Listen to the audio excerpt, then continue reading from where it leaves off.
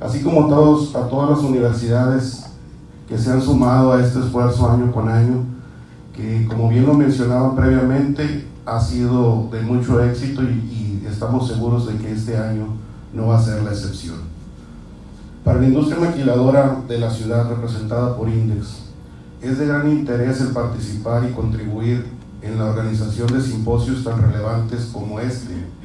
Y como cada año, nos sumamos a los esfuerzos que realizan los académicos y autoridades universitarias, trabajando también en colaboración con ponentes reconocidos de la región y fuera de ella, que nos estarán acompañando en este evento, compartiendo sus experiencias y conocimientos con la comunidad universitaria de ambos lados de la frontera, actualizándonos en temas de gran relevancia que están teniendo de manera directa o indirecta un impacto en nuestra industria hoy en día por la situación que todos conocemos. El que los jóvenes universitarios tengan una formación académica actualizada, complementada con simposios como el que se les invita a participar, es de vital importancia para la industria maquiladora, porque podrán contar con las Un evento muy interesante donde está, están contempladas uh, varias conferencias, todas relacionadas con el comercio exterior, aduanas, eh, el TLC y demás por ahí también.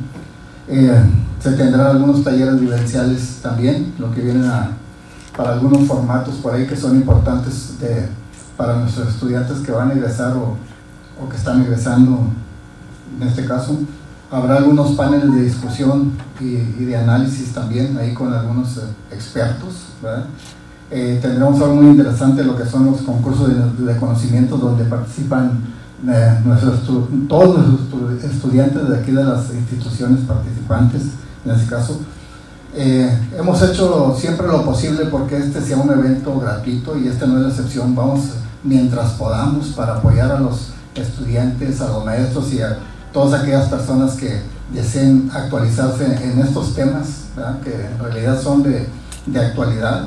¿sí? Seguiremos apoyándolos para que, para que no les cueste ni un, ni un peso.